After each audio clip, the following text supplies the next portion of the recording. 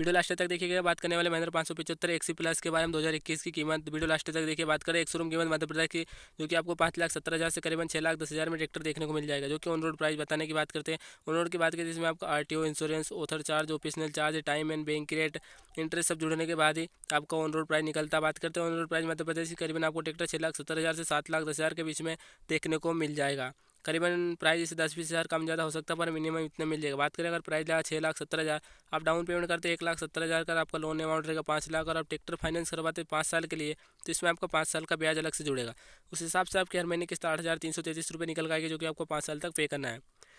ऐसे ही एंड्रॉइड के वीडियो देखने के लिए हमारे यूट्यूब चैनल ट्रैक्टर जानकारी को ज़रूर सब्सक्राइब कीजिएगा।